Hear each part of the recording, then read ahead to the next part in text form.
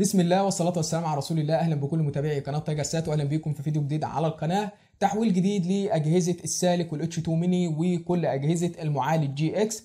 التحويل ده هنحول الجهاز لجهاز التايجر زي القايمة اللي موجودة ورانا كده. التحويل ده تحويل جديد هيوفر لك سيرفرات IPTV ببلاش وكل الحاجات اللي موجودة عليه وكل المميزات اللي موجودة في ال software ده هتقدر تستفاد بيها بعد ما تحول الريسيفر بتاعك. هنبدأ نشوف مع بعض النهارده إزاي هتحول الريسيفر بتاعك من خلال اللودر علشان تبدأ تستفاد بالتحويل وهنستعرض التحويل مع بعض كده ونشوف شكل التحويل والقوائم اللي موجودة فيه. والسيرفرات اللي موجودة عليه وهتكتشف حاجات كتير موجودة في التحويل ده بعد ما تنزله على الريسيفر. فلو عندك receiver GX سواء سالك أو Qmax H2 Mini يبقى لازم تشوف الفيديو ده علشان التحويل ده هيودي الريسيفر بتاعك في حتة تانية خالص. مش عايز أطول عليكم يلا بينا نبدأ الفيديو بتاعنا مع بعض.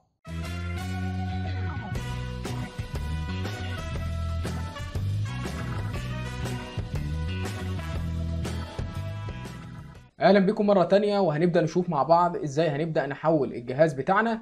أول حاجة بتعملها طبعا بتفتح اللودر زي ما أنت شايف كده وبتعمل الإعدادات بتاعتك زي ما هو باين معانا في الصورة. لازم الإعدادات بتاعتك تكون بالشكل ده كده.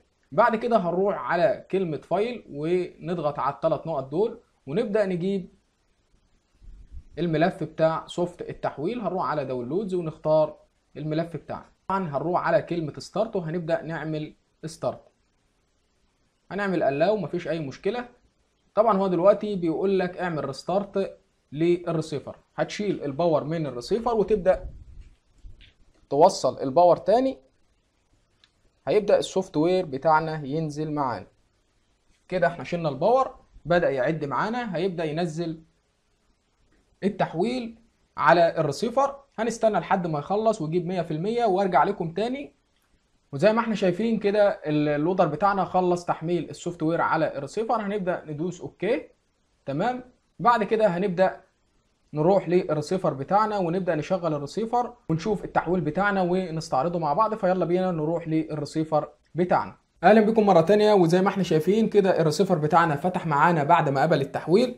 أول حاجة بتظهر معانا زي ما إحنا شايفين بعد ما وصلنا ال power في الريسيفر هتلاقي إن الريسيفر فتح معاك على القايمة دي جايب لك كلمة WiFi USB online وفوق كاتب لك no channel please restore channel يعني عايز يعمل ملف قنوات أو ينزل ملف قنوات. طبعا أنت بتكون حاطط ملف القنوات على ال USB اللي أنا هسيبه لك برده مع ال software. هتخش على ال USB وتبدأ تختار ملف القنوات وهتقول له yes هيبدأ ينزل معاك ملف القنوات.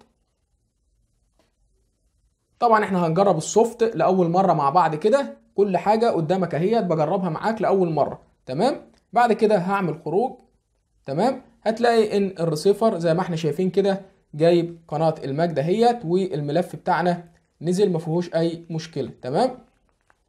يبقى أنت تختار كده النايل سات. بعد كده نخش على القايمة بتاعتنا ونشوف منظر القايمة. زي ما إحنا شايفين منظر القايمة جميل جدا حاجة روعة بصراحة. أنا أول مرة أشوف التحويل معاكم يعني أنا ما جربتوش قبل كده أنا بشوفه لأول مرة معاك زي ما أنت بتشوفه بالظبط زي ما إحنا شايفين شكل القوايم ممتاز المنظر جميل جدا تقدر تتنقل بكل سهولة كل حاجة واضحة قدامك زي ما إحنا شايفين دي قائمة التركيب لو دخلنا عليها طبعا بيطلب كلمة السر اللي إحنا عارفينها اللي هي أربع إصفار بيانات الهوائي وكل حاجة عن قائمة التركيب نعمل خروج كده نخش تاني على القائمه زي ما إحنا شايفين ادي تعديل القنوات. لو انت عايز تعدل على القنوات طبعا تقدر تعدل على قنوات التلفزيون الراديو كل اللي انت عايزه تعمل مفضلة كل اللي انت عايزه تعمله من قائمة القنوات. الاعدادات طبعا بتخش على الاعدادات. لو عايز تعمل أي اعدادات في الريسيفر تمام؟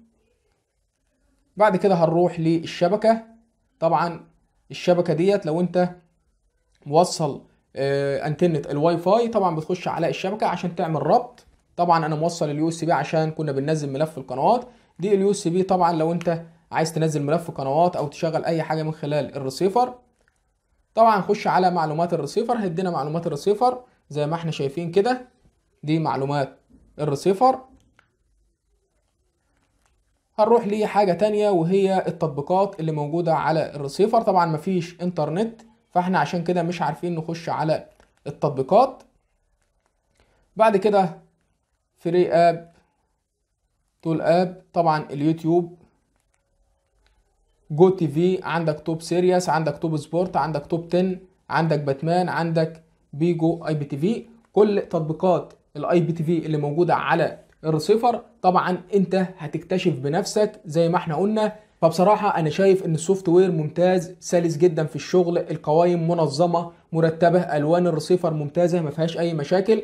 انت بقى بالنسبة للسيرفرات زي ما قلنا انت هتخش بنفسك تبدأ كده تشغل السيرفرات وتشوف انت عايز تشغل إيه وما تشغلش إيه وتستفاد بقى بالسيرفرات اللي موجودة عليه وتفرج وأي مشكلة هتقابلك أو أي حاجة تقابلك طبعا سيبها لنا في التعليقات وإن شاء الله هرد عليك مفيش أي مشكلة. لو قابلك أي حاجة أي حاجة تقف معاك انت سيبها لي في التعليقات وإن شاء الله هرد عليك على طول. طبعا ال software زي ما إحنا شفنا طريقة التنزيل باللودر سهلة جدا مفيش أي مشكلة وضحنا كل حاجة. استعرضنا مع بعض القوائم والحاجات اللي موجودة داخل ال software. موضوع سهل جدا. ملف القنوات هسيبه لك برده مع ال software في أول تعليق مثبت. ولو انت حابب تعمل بحث للريسيفر بنفسك يعني تقف على كل أمر وتعمل بحث زي ما انت حابب سواء عندك تركيبة أو طبق متحرك حسب ما هتشغل الريسيفر على إيه تقدر انت تعمل بحث وترتب القنوات بالطريقة اللي تريحك. كل الأمور دي سهلة جدا مفيش أي مشكلة. فأتمنى إن ال software يعجبكم. أنتوا جربوا ال software وابدأ خش كده وشغل السيرفرات اللي موجودة عليه لأن أنا زي ما أنت شايف إحنا ما وصلناش نت وما فعلناش أي حاجة. أنت فعل وهستنى التعليقات بتاعتكم وردودكم. بالنسبة للسيرفرات اللي موجودة على الجهاز. أتمنى تكونوا استفدتم وأتمنى التحويل يعجبكم. لو وصلت معانا لحد هنا ما تنساش دعمنا باللايك والاشتراك وتفعيل زر الجرس عشان يوصلك كل فيديوهاتنا الجديدة على القناة. أشوفكم على خير والسلام عليكم ورحمة الله وبركاته.